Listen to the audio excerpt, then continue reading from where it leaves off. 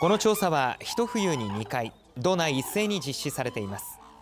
鶴居村の給餌場では地元の小学生が去年とほぼ同じ27羽の単調を確認しました。予想よりは少し少なめだったんですけどあのいろんな大きさの単調がいたのでとっても面白かったです。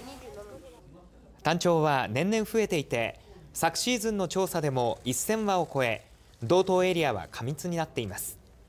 そのため環境省は給餌場の餌の量を減らし単調を道内各地に分散させようと取り組んでいます。